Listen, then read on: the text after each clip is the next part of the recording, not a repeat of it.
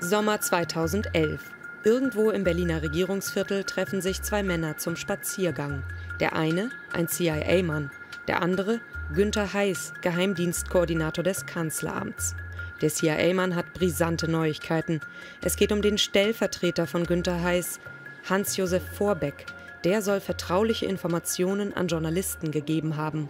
Das berichtet der Spiegel. Um seine Mitarbeiter geht es das Spiegel-Hauptstadtbüro am Pariser Platz, direkt gegenüber die amerikanische Botschaft.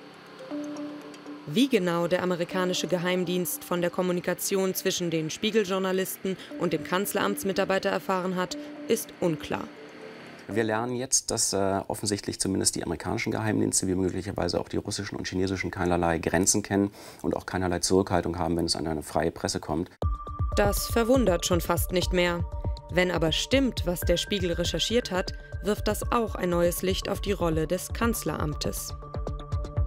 Der Vorwurf, den wir allerdings hier erheben müssen, ist ganz eindeutig, dass das Kanzleramt 2011 hätte wissen können, dass amerikanische Geheimdienste inmitten von Berlin, im Herzen der deutschen Hauptstadt, abhören. Dass dieses Abhören dem Kanzleramt offensichtlich gilt, möglicherweise auch äh, nicht nur einem oder mehreren Journalisten des Spiegels, sondern vielen Kollegen in Berlin. Und dass damals ähm, ganz offensichtlich nichts unternommen worden ist. Denn nach dem konspirativen Spaziergang macht das Kanzleramt offenbar nur eines: es versetzt Vorbeck. Seine neue Aufgabe? Aufarbeitung der BND-Geschichte.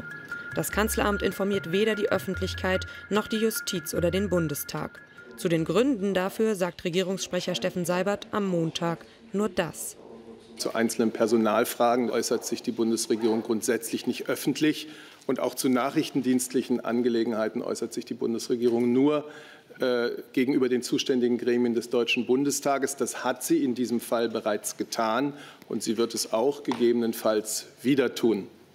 Das hat sie zum Beispiel im November 2011.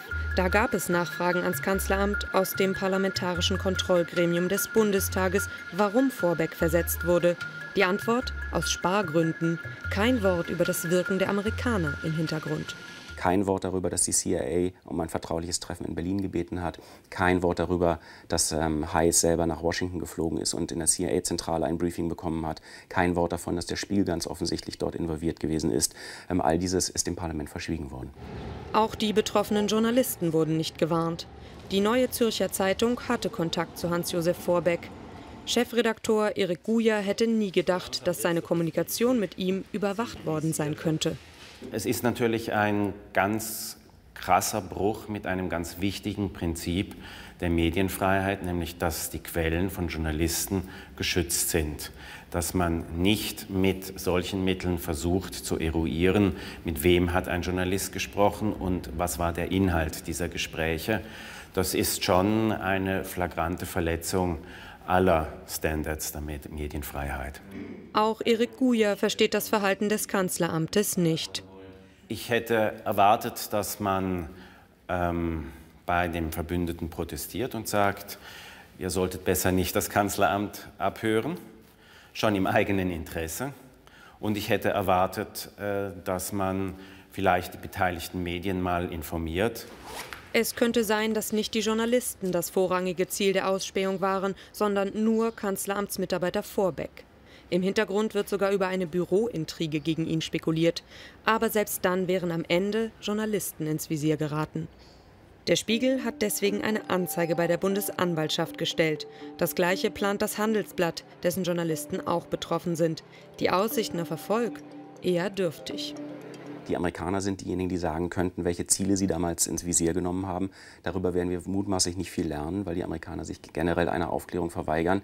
Äh, wir sind gut beraten, davon auszugehen, ähm, nach allem, was wir durch Edward Snowden in der NSA-Affäre gelernt haben, dass das gesamte Regierungsviertel in Berlin abgehört wird, dass es abgehört worden ist und bis heute abgehört wird.